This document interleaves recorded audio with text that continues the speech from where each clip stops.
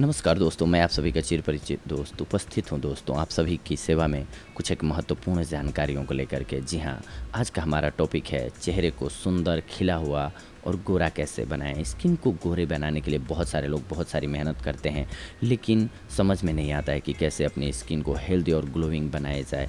इसके लिए कुछ एक देशी नुस्खे हैं जो बेहतर साबित होते हैं।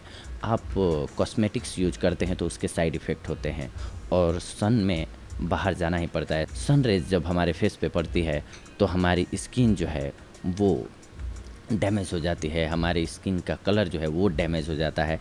तो इन सारी समस्याओं से निजात पाने के लिए सबसे बेहतर दवा क्या होगी और सबसे सस्ती दवा क्या होगी, इससे जुड़ी हुई ये जानकारी है। आपको लेना होगा शक्कर और नींबू। दो चीज़ों की ज़रूरत पड़ेगी आपको। नोट कर लीजिए। शक्कर और नींबू। जी हाँ चीनी को आप एक कटोरी में ले लीजिए, इसके बाद नींबू को बीच से काट लीजिए। अब करना क्या है कि नींबू के फाहे को आधा लीजिए और उसको शक्कर पे रख दीजिए। शक्कर उस पर नींबू पे चिपक जाएगा। उसको थोड़ा घोलने दीजिए और तब तक फेस पर आप क्लिनजिंग कर लीजिए फेस की। जैसा कि मैं बताता हूँ आपको हर बार कि पानी बॉयल कीजिए, गर्म कीजिए, इसके बाद उसमें एक तौलिया डालिए, बाहर निकालिए, निचोड़िए उसको और फेस पर डाल करके पाँच से दस मिनट के लिए छोड़ दीजिए।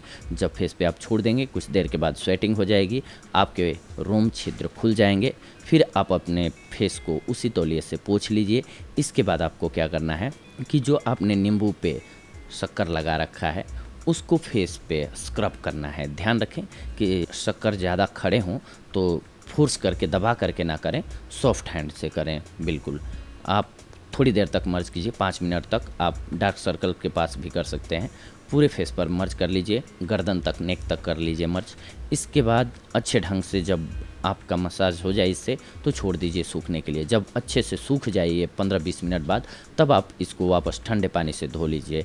ऐसा अगर आप सप्ताह में दो दिन करते हैं और लगातार करते हैं एक महीने तक, क्योंकि होम मेड रेमेडीज़ जो भी होती हैं, इनका असर थोड़े दिनों के बाद दिखता है, इतना जल्दी नहीं दिखता है।